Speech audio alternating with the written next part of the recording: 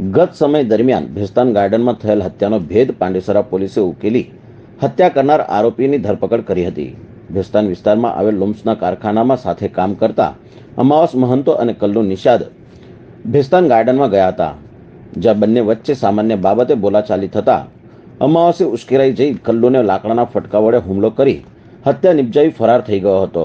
જેંગે પાંડેસરા પોલીસે તપાસ હાથ ધરી હતી દરમિયાન આરોપી અમાવસને પોલીસે ટ્રેક કરી ઝડપી પાડ્યો હતો 18 सितंबर की रात को पांडेसरा पुलिस स्टेशन में इंफॉर्मेशन मिली कि ऐसे ऐसे एक आदमी है वो बेहोश पड़ा है अ, बेस्तान में गुरु कृपा इंडस्ट्रीज़ के सामने एक गार्डन है वहाँ पे तो पुलिस गई तो डेड जैसा लगा उसको हॉस्पिटल में एडमिट करवाया गया बाद में तपास में उसका नाम कल्लू जगरू उर्फे नैना निषाद ये बांदा यूपी का रहने वाला है और अभी पांडेसरा में रह रहा था। इसका किसी अनजान आदमी ने मर्डर कर दिया था। इन्वेस्टिगेशन किया, आसपास के सीसीटीवी चेक किए।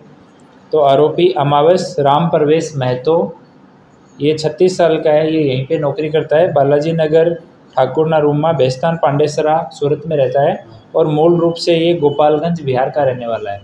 ये दोनों उस रात को गार्डन में बैठे थे और किसी बात पे इन पे इनमें आपस में बहस हुई और एक दूसरे को गाली गलौज किया और बाद में इसने डंडे से पीट पीट के उसकी हत्या कर दी। आरोपी को अभी अटक कर लिया गया है और आगे की कार्यवाही की जा रही है। आपस में बैठे थे गाली गलौज से शुरू हुआ और उसने उठा के मारने का इंटेंशन नहीं था, लेकिन लाठी से इस तरह से उसको चोट पड़ गई कि उसकी डेथ हो गई। बाकी उससे पूछताछ कर रहे हैं। अगर और कोई कारण सामने आता है तो आपको इन्फॉर्म कर देंगे